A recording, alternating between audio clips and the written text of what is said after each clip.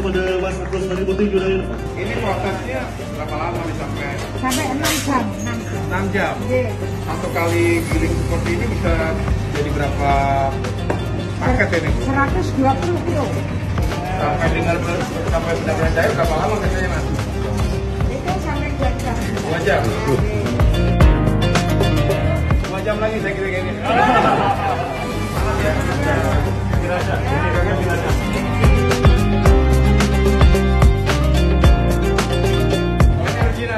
Ini, yang ini original. Ini original pakai wijen. Ya.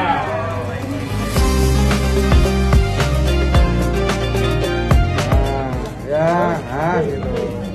Kalau kan kenceng gitu ya.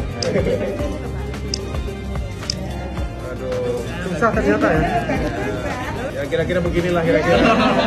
Hasil yang tidak rapi ini. Terima kasih ya Bu ya. Ini termasuk kerajinan tangan. Kerajinan tangan ini Ya. sampai nggak ngeliat nah, langsung begini ya. Ya, sudah. Gitu. Terus selesai sampai lebaran kita kayak gini. Oke, jadi macam-macam rasanya ya. Iya. Yang paling laris original. Yang paling laris semua laris. Semua laris. Iya, Oh. semua laris. Iya, apa? Ya, saya, Valeri Pak, ya yang punya isi kopi.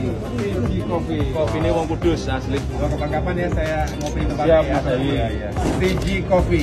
Ya, ini Mantap. Kopinya Wong Kudus. Wong Kudus ya. Jadi teman-teman harus coba datang ke Kudus kopi bareng di tempatnya Mas Valeri. Produk Rainava Organic Coconut Sugar.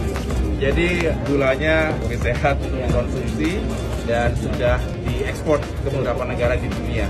Saya bersama dengan kelompok Dawis Cantigi ya.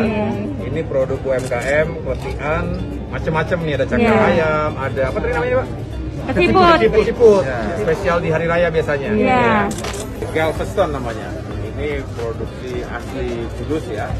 Dan produknya keren ini. Perlu dicoba. Memang belum launching. Nanti setelah lebaran launching ya. Tapi eh, produknya berkualitas dan mudah-mudahan bisa terus maju dan berkembang. Macam-macam kopinya di sini ya.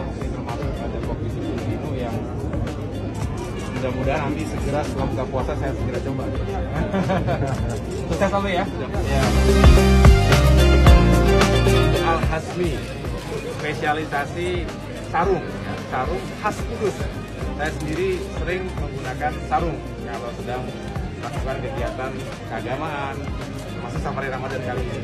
Seiring dengan pemulihan ekonomi pasca pandemi, Kudus bisa semakin berjaya lagi.